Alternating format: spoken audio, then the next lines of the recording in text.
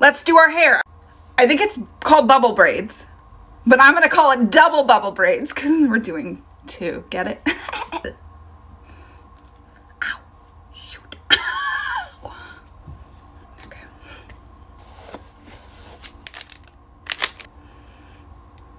This in itself is super cute.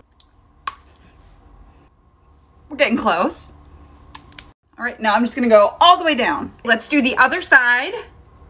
Let's fluff. Fluff the bubbles. I can't decide if I like it or not. Let's look at the back. Well, you can. I can't see it. The back okay? Double bubble braids. Thoughts?